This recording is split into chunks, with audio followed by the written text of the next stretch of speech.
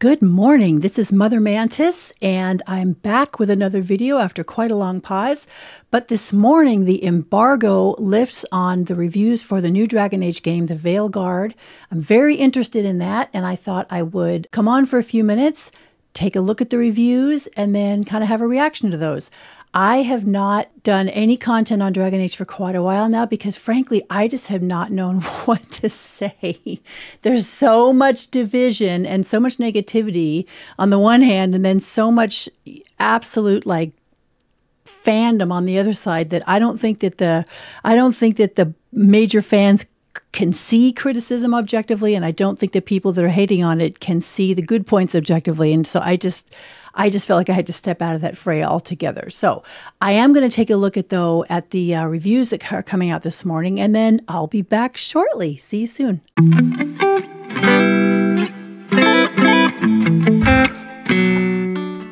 Okay, well, that was interesting. Uh, it seems to be very divisive. Skill Up hates it. Mortismal Gaming loves it. Both reviewers that I normally follow and whose opinions I really like. And they're not usually in complete opposition to each other either. I mean, excuse me, Mr. Matty hated it. Eurogamer loved it. Mortismal Gaming, as I said, loved it. Not only loved it, but said possible game of the year contender. Let's see. IGN loved it. That's not a big surprise. They like every game that first comes out. Kayla Elizabeth liked it but I will be honest and say that her review was interesting to me because she really liked it. I know that she's a real fan of the game, but I felt like her the to- general tone of her review came off sounding like somebody who really wants to love the game and is determined to see it with the most kind eyes possible. That might be just me, but that's the impression her review gave. So we'll see very interesting morning. It really is just uh, goes back to the argument that maybe they shouldn't be giving out these review codes, and maybe we should just let players make up their own minds. Maybe we should each be making up our own minds. this is just reaffirming my decisions about why I basically stayed out of this fray over the last month and why I have not done any content on Dragon Age, even though I keep talking about doing content on the game uh, and I keep wanting to do content on the game. I mean, the Veilguard is a direct sequel to Dragon Age Inquisition, and yet they made some decisions with the Veilguard that I find puzzling. The most puzzling of which is that uh, decision to only bring forward three consequential, if you want to call them consequential, decisions from Inquisition, being, you know, who you romanced, who you made the divine, and I can't remember the third one, but none of them are the really big decisions. They're just sort of the personal decisions. I'm still excited for the game. I do have some concerns with the game that I don't think have been assuaged by even the good reviews I saw this morning with. I'm as I said, not super happy with the fact that only three choices are being carried over, although I think I understand why, and I'll get back to that in a second. I've heard that the companions are immortal and are really not dismissible.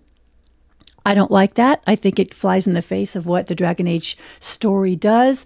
But I think I understand it in the context of uh, a more linear story that they're trying to tell. And so they need each companion. You can't have a companion disappear early in the game if you're telling a linear story, and you need that companion in the game later on. Okay, they're immortal and they can't be dismissed. So that impacts the level of relationship you can develop with them. Um, I've also heard that you can only play as a good guy, quote unquote, good guy in this game. Although, to be honest, most of us play as good guys. So to me, that's not particularly consequential, but it does impact your ability to role play. And I think I understand that you're playing as Rook, and Rook is their own companion. Excuse me, Rook is their own character. You are not taking on Rook as yourself. Like, for instance, one of my friends uh, that I play with sometimes, um, she was saying that she just finished playing Forspoken. And she was saying that you play as Frey, and she said that you don't you become Frey. You're playing Frey's story like you're playing the Witcher story. You're not you don't take Frey on as you don't become Frey. I think that's probably going to be the same in this game. In in Inquisition, I was the Inquisitor. That character, I was the Inquisitor. I think in this game, Rook is the main character. I'm simply playing Rook's story. That's, I think, going to be a difference between this game and Inquisition. Uh, and I also don't like stylistically, I'm not in love with the kind of a light fantasy, big heads kind of a look of the game. But that's a stylistic choice. I can live with that. It's what's popular now, apparently. Fine. I'm definitely going to be playing the game when it first comes out. Uh, I might stream it, but I'm not sure I see the point in that because I think probably a million people are going to be streaming it, and probably everybody that I know that might watch my stream is also going to be playing the game. But I'm definitely going to put it up on my channel as a Let's Play just because that's what I do um, because I have not been waiting 10 years for this game to not play it when it first comes out. What it boils down to for me is the concerns I have about the game have not been alleviated. However, I'm what I would consider a lore nerd. I have over 3,000 hours across the games in this franchise. I love the game. Um, it seems clear to me that this game is aimed at newcomers to the franchise uh, and more casual players, which is uh, not what I had hoped for. It's not the vision I had for the game, but nobody hired me to make the game, so that's you know that's just something I have to accept. I think that's going to bother people like me who are really deeply into the story, but I also understand why they're doing it. I'm not going to hate on it for that. As long as the lore is there and they're true to it, then I'm I'm going to be okay with that. What I'm hoping is that people love the story enough, the newcomers, that they love the story enough that they're willing to go back and play the older games, even though they're older and the gameplay might be clunky, blah, blah, blah, because the stories are so good that they're worth it, because they are worth it.